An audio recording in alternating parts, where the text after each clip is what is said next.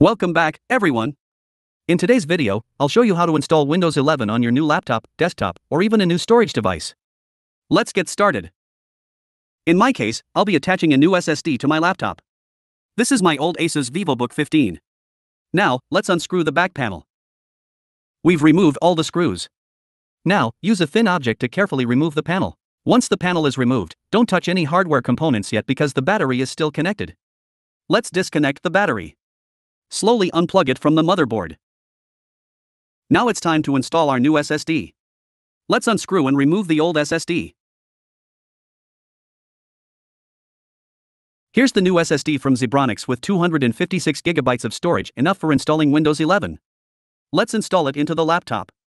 Insert it slowly until you hear a click sound. Now, screw the SSD in place and reconnect the battery. Let's put the back panel back on the laptop and screw everything securely.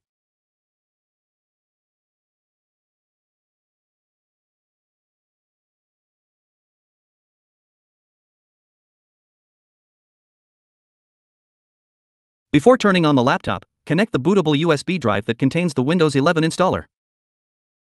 Turn on the laptop.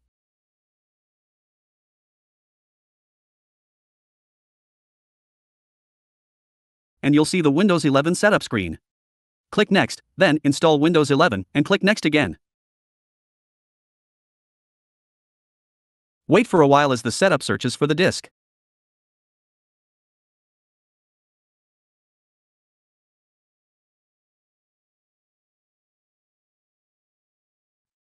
Select the disk where you want to install the OS and click Install.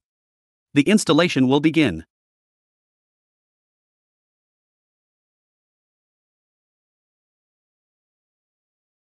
Make sure to keep your laptop plugged in during the installation process.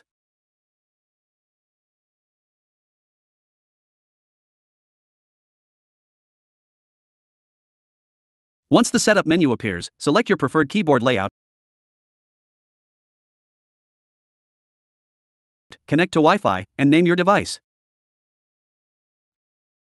Don't forget to like this video and subscribe to the channel. Wait for the setup process to complete. Your PC will reboot several times during this process, so be patient. Sign into your Microsoft account if you already purchased Windows with it. Otherwise, you can activate it later, no problem at all.